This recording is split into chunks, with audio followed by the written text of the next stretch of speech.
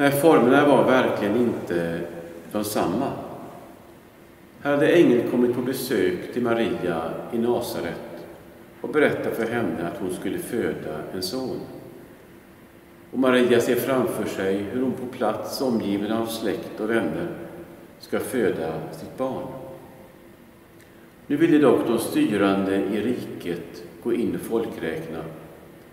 Och då får Maria följa med sin trolovade Josef till Betlehem för att, för att skattskriva sig. Väl där är det ingen som tar emot dem, utan istället hänvisas de till ett stall ute i mörkret. Där i mörkret föds hennes barn. Och jag föreställer mig att det var en av de första gångerna som mannen Josef var på plats och hjälpte till vid förlossningen. För vem hade Maria där förutom Josef? Nej, ingenting var som vanligt. Alla former vänds upp och ner på. Och mitt i den, denna upp och nerpåvända tillvaro så brister himlen ut i lovsång.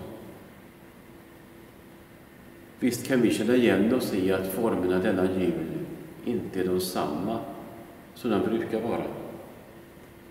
Men bara för att formerna i år är annorlunda, för att regeringen beslutat så, så hindrar det inte oss från att uppleva att himlen spricker ut i lovsång och vi kan ana änglars sång. Denna Guds öppna himmel spelar oss flera spratt. Spratt som innebär utmaningar för den etablerade kristenheten. För julnattens evangelium innehåller ingenting om romantik och kommersialism i de etablerades tillvaro. På rövarpackens äng, herdarnas äng, dit ingen etablerad frivilligt sökte sig, också där spricker himlen ut i lovsång. Och herdarna, de blir härligt frälsta i Herren Jesu namn. Så frälsta att de lämnar sin äng för en stund för att tillbe Jesusbarnet. De hade inga presenter, inga fina kläder.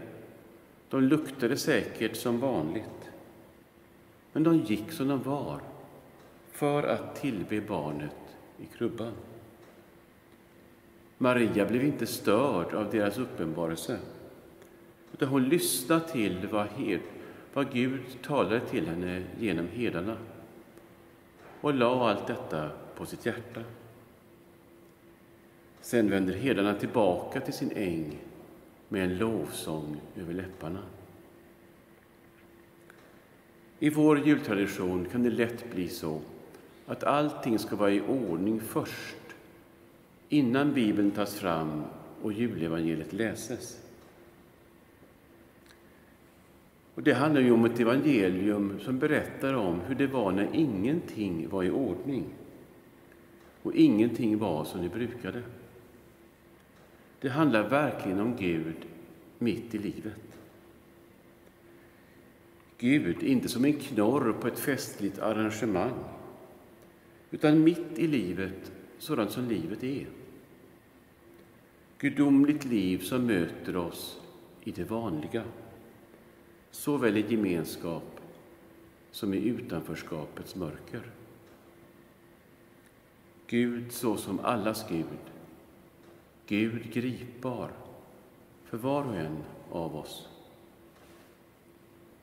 Alldeles oavsett om det är kejsar Augustus eller statsminister Löfven som ställer om samhället så kan vi, när vi lyfter blicken, få höra änglars sång om Gud på jorden.